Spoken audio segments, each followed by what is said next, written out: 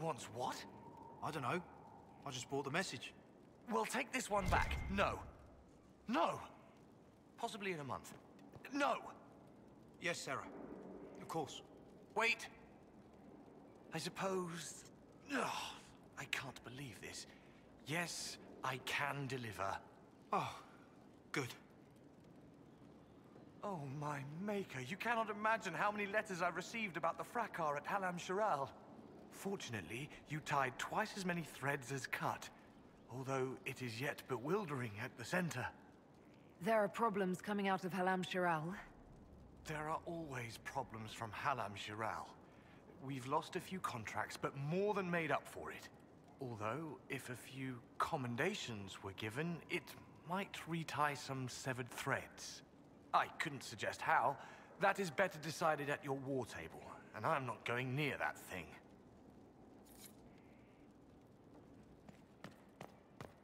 Goodbye, your worship.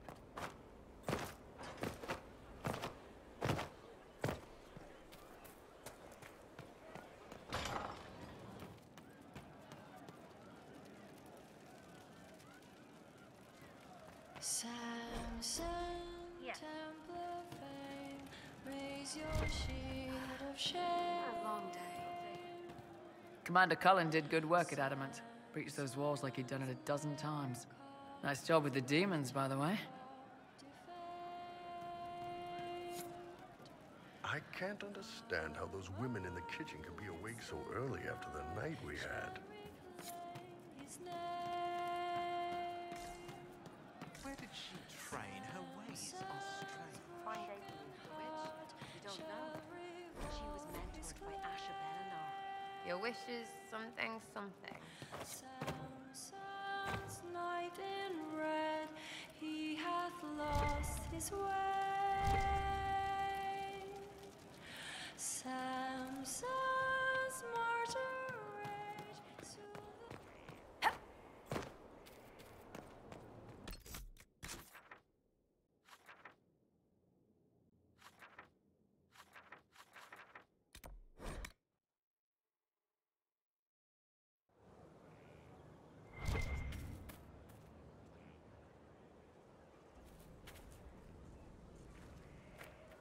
Inquisitor, the soldiers say you banished the demons at Adamant and freed the Grey Warden mages. I understand from Sister Leliana that the truth is somewhat more complex, but no less extraordinary.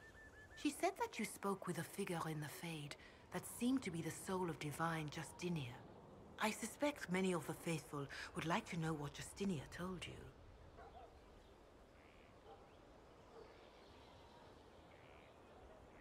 She helped me remember what happened at the Conclave. The Maker didn't give me the mark on my hand.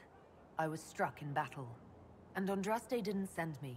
The figure everyone saw was Divine Justinia. So it is as you have always maintained. You must feel quite vindicated.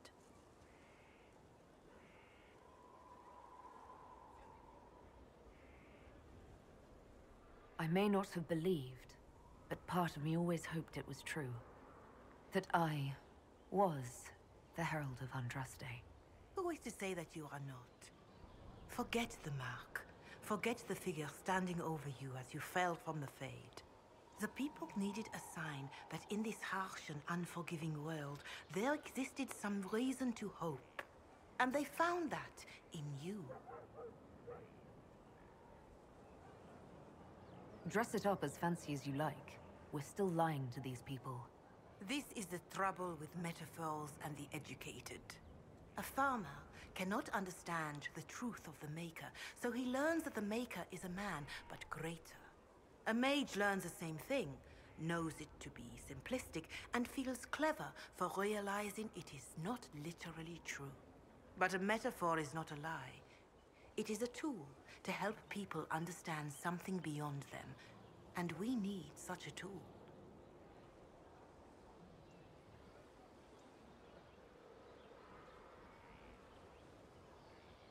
But how do you keep your stories straight when different people understand different things? The same way you keep Sister Leliana, Commander Cullen, and Ambassador Montilyet happy all at once. Very carefully. A farmer A noble, a warrior, and a mage will all see different aspects of the Maker in their lives. They must each hear the story that will reach them, and each of those stories is valid. Now, is there anything I can help you with?